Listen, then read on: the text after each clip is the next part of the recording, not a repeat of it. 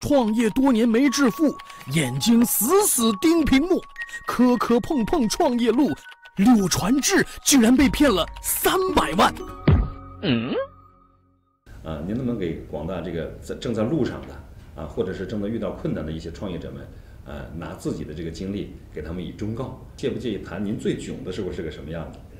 你要把你这个目标想清楚，你是不是真的决定走这个路？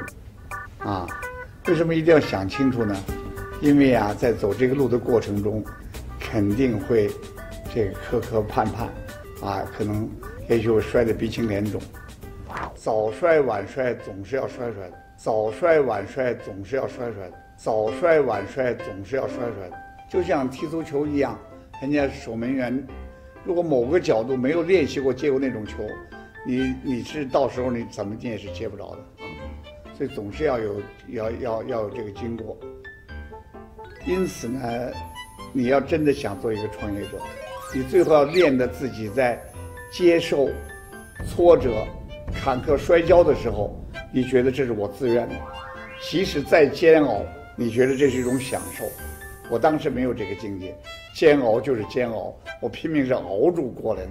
但回过头去想，今天在想，那何尝不也是一种幸福呢？啊，比如我最囧的时候被人骗了钱了啊，当时这个大概有三百万吧，在这个八七年的时候，那是要命的。我去追这个钱的过程，心情紧张的不得了。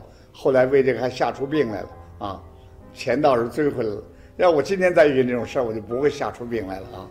但是提前人们知道了这个故事呢，你也许就会知道这是个必然过程。